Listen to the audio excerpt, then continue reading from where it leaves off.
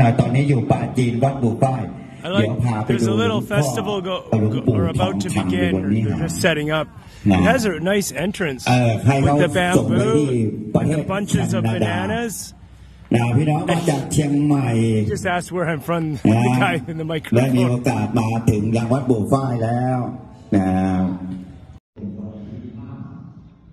Even Cactus is paying respects to the centerpiece of this temple, and it's the famous monk, and that's his body in the open. It's covered in gold, gold flake leaf. So essentially, a mummy covered in gold.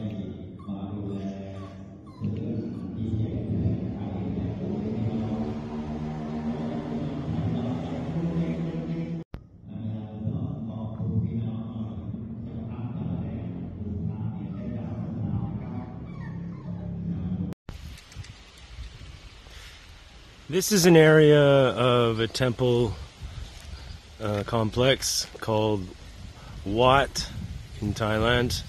So it's Wat this, Wat that, Wat blah blah blah, always Wat name.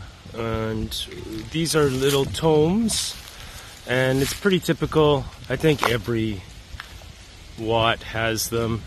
So enshrined in the center of these are the ashes of important monks of the past. And you'll see them everywhere. So that's just what these are. And they're often quite nice design, but similar design generally.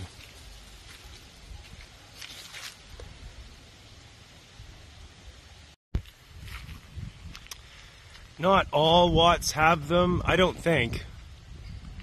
Um, this is a crematorium, uh, very distinguishable by the smokestack. This, the body will be burnt in there, and the smoke will come out in thick plumes of smoke, and that's somebody's burning body. And most people in Thailand are cremated. Not everybody's Buddhist.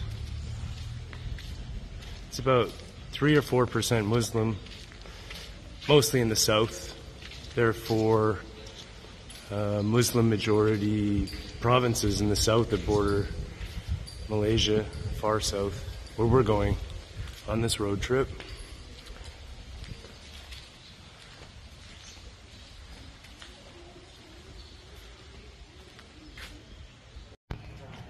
Lots, lots of clothes in this market, and then ooh, yeah, there's a nice shrine, Buddhist.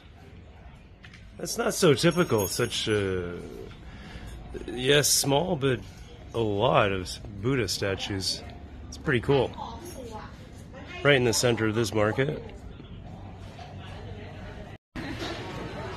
Well, sometimes the mother is quite shy, but the little girl is super duper cute behind the stack of rice. I see you.